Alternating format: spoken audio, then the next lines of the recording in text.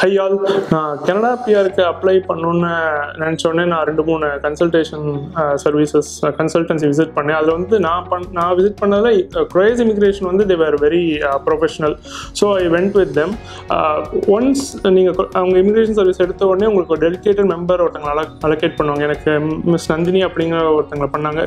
She is also very professional and she guided me in all possible ways என்ன doubts இருந்தாலும் என்ன clarification பி document upload அவங்களே verify பண்ணிவிட்டு they will do all the process for you it me உங்களுக்கு வந்து எந்த வேலையுமே அவங்க வைக்க மாட்டாங்க. ஸோ நானே என் ஒய்ஃப் என்னோட டாக்டர் மூணு பேருக்குமே அப்ளை பண்ணியிருந்தோம். இனிஷியல் எக்ஸ்பிரஸ் என்ட்ரியில் போட்டோம். Then she told me to opt for immigration program so Ontario immigration program opt பண்ணியிருந்தோம்.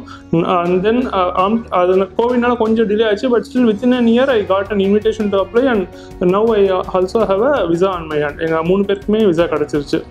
So I would definitely recommend Kures immigration services for Canada pier thanks